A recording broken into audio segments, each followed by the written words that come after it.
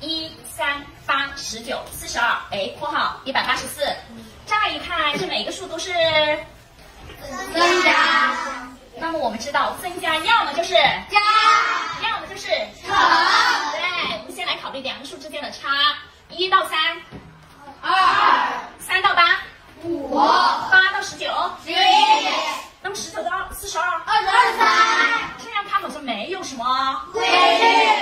好，接下来我们再来考虑倍数关系，一到三，三，哦，乘三，那么三到八，不能，不能，哦，不能，嗯，好像也到此结束了。接下来乘单独的乘也不行，单独的加也不行，边加啊，乘加一起考虑。